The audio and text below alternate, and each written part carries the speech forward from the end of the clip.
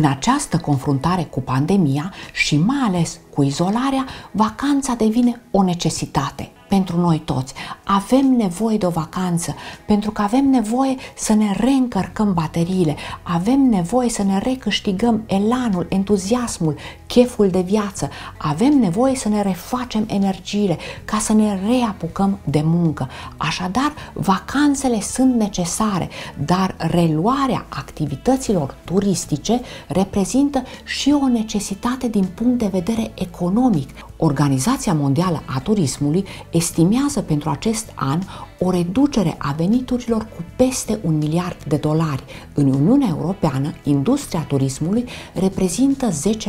10% din PIB și, conform statisticilor, în fiecare an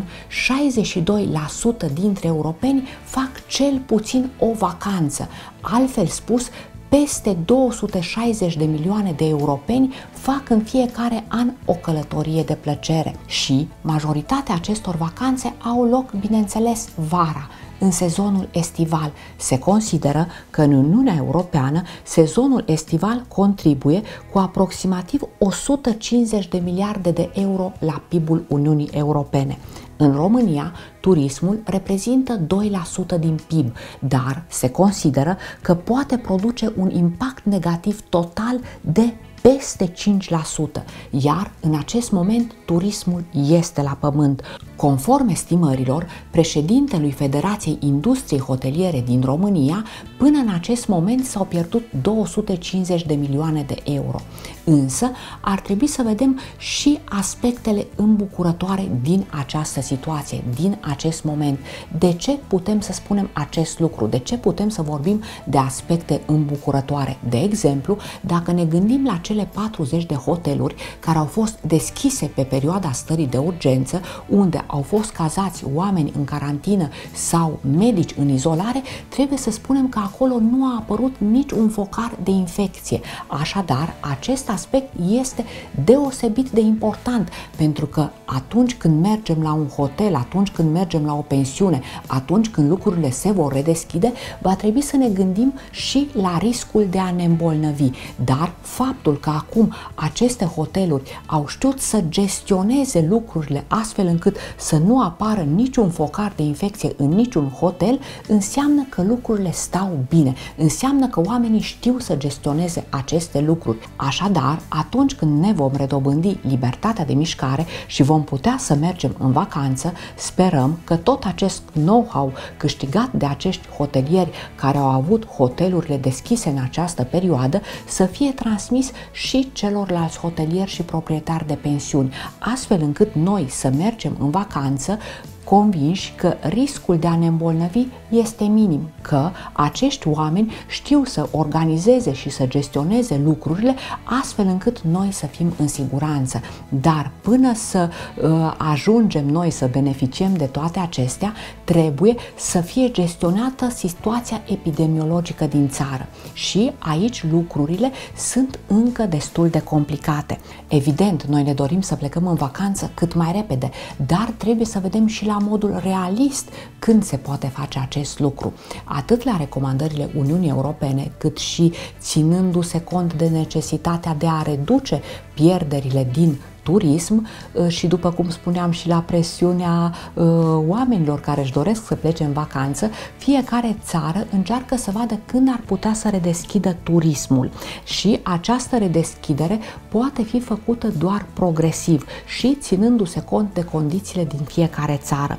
Și trebuie să menționăm că țările baltice, care acum înregistrează doar câteva cazuri noi pe zi, și-au deschis reciproc granițele, ceea ce vine în întâmpinarea nevoii nevoie de mișcare și de relaxare a populației, astfel că țările baltice s-ar putea să atragă turiști și din alte zone atunci când se va da drumul călătorilor cu avionul, ca să spunem așa. Și acest lucru poate să reprezinte și o bună relansare economică pentru ele. Se pare că acest proiect va câștiga și alți uh, membri, pentru că se pare că Finlanda și Polonia doresc și ele să se alăture acestui proiect. La fel, se speră într-o înțelegere similară în zona adriatică, pentru că Slovenia, Croația și Muntenegru aproape că nu mai au cazuri noi, iar Bosnia-Herzegovina, Albania și Grecia au și ele doar câteva zeci de cazuri noi pe zi, iar Grecia și-a deschis deja plajele.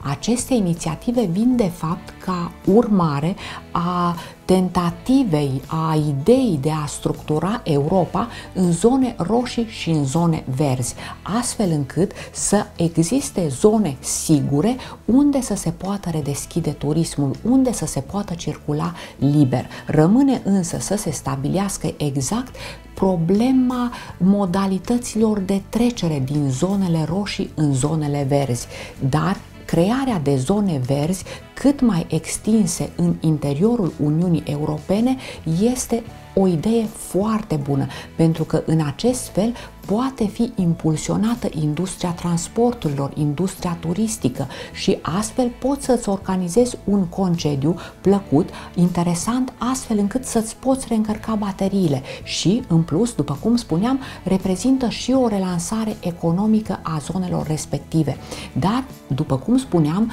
trebuie să știm să gestionăm această epidemie în ansamblul ei ca să ne putem bucura de aceste vacanțe în acele zone verzi. Și dacă vom reuși să gestionăm această epidemie și noi aici în România, poate ne vom putea alătura și noi acestui proiect, pentru că Bulgaria și Ungaria deja par să nu mai prea aibă multe cazuri noi și s-ar putea alătura acestui proiect și dacă ne alăturăm și noi, România, așadar, acestui proiect din zona Mării Adriatice, îi se adaugă Bulgaria, România,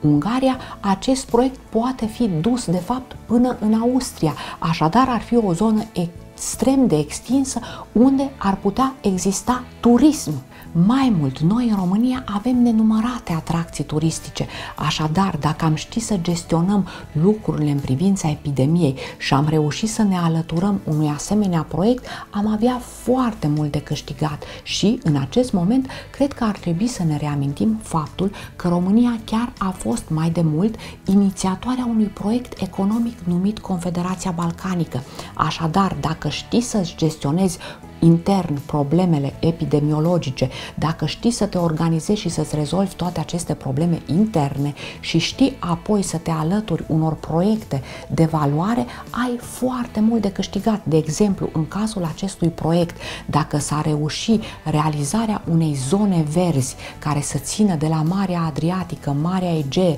Marea Neagră până în Austria, cu toții din această zonă am avea foarte mult de câștigat pentru că ar fi o zonă în care ar putea renaște turismul și s-ar putea câștiga foarte mult, mai ales noi, având atâtea atracții turistice. Am reușit să uh, facem poate un salt, atât în privința uh, turismului intracomunitar, cât și în privința turismului internațional. Așadar, șanse avem, dar Până la a ajunge acolo ar trebui făcut astfel încât să dăm drumul așa încet, încet turismului intern, bineînțeles, după ce sunt controlate toate lucrurile în privința acestei epidemii și lucrurile se mișcă rapid. De exemplu, la mijlocul lunii iunie se preconizează libera circulație între Austria și Germania și se dorește apoi extinderea cât de repede se poate a acestei zone și cu includerea Franței și a Elveției,